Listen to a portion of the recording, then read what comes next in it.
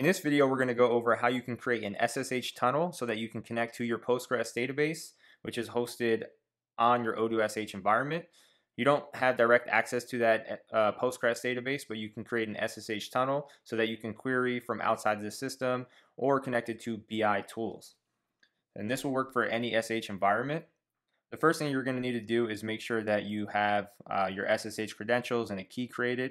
If I click on the SSH at the top of our Odoo SH environment and I go to info here, you're going to see a GitHub link in order to uh, demonstrate how you can create that SSH key value pair and connect it with Odoo. I'm going to skip that step and assume that you already have that set up. The next step is to open up the shell for the environment that you want to connect to. So whether that's your production environment or another environment. So once that shell loads up, what we'll do from here is type in the environment keyword so that we can get our environment variables. So there's three main things that we're looking for here. We're going to look for our PG password, so our Postgres password, which we'll utilize. We'll need our Postgres username, as well as our Postgres database. So those are the three things that we need in order to connect. We're also going to go back to our branches here, and we're going to use this SSH string. So we're going to need our uh, connection URL here.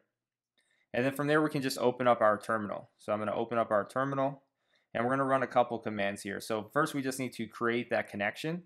In order to create the connection, we're going to run this connection string right here. So it's SSH uh, dash V dash L. And then we're going to have the port that we're going to utilize on our local machine.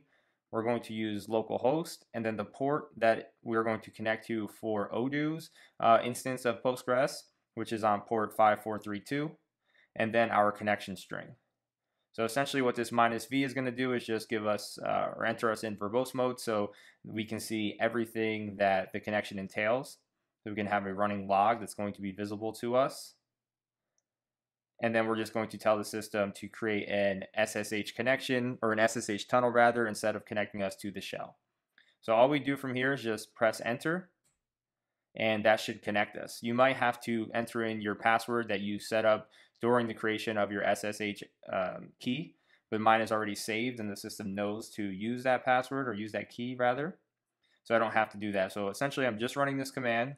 That's all we have to do. And then that's going to uh, connect us to the server. And as you can see, we have that tunnel created and it's going to be ready to be utilized. So now that we have that tunnel created, what we want to do from there is actually connect to the Postgres database. Now to do that, we're just going to connect the same way you would typically connect to a Postgres database. Just clear that out. And we're just going to run this command, which is uh, psql, give the, the host name, which is localhost, the port number, which is 5432, the username, which we got from our environment variables, as well as the database that we got from our environment variables. We're going to press enter, and then we're going to be prompted to enter that password, which I'll copy right from here. Just make sure there's no extra space. Then I'll go back, enter that in, and press enter. Right from there, I am connected to um, my Postgres database via that SSH tunnel. I could run commands from here. So if I do select ID, name from sale underscore order, we see that we get the ID and name.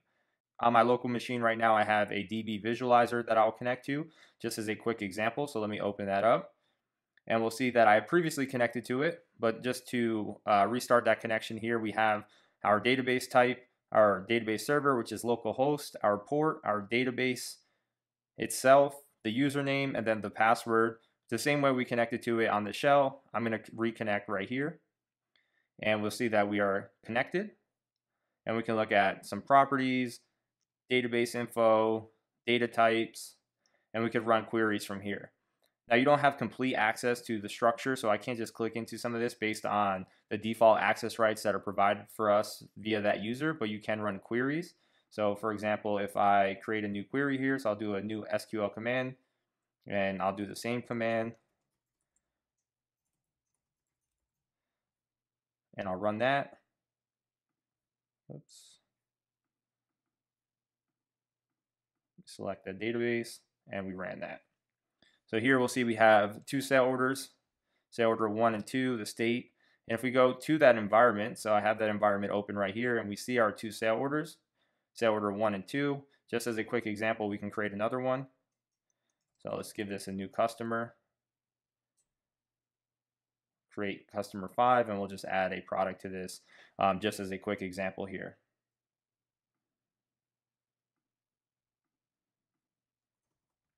And let's go ahead and save that. And then we'll rerun our query on our database visualizer. And we see that's immediately updated with sale order number three here. And again, of course, you can query anything you want. So if you want to do res partner, we can run that and we'll see all of our partners and that customer number five that I just created. So that's how you can connect via an SSH tunnel. Again, that works for um, all SH environments.